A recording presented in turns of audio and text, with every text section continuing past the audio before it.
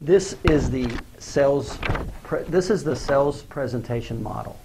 When I showed you the graph of the S-curve of economics, and the left side is the 8% of people that are searching for chiropractors, well, that is marketing that gets more of those people in.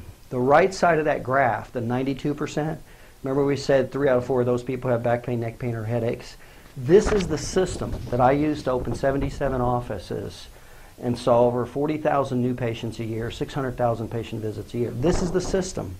So I'm going to go over it one at a time at each meeting. I'll cover one little segment of it. The more of this you do right, the more potential business you get. The more you do wrong, you can't touch that 92% because they're not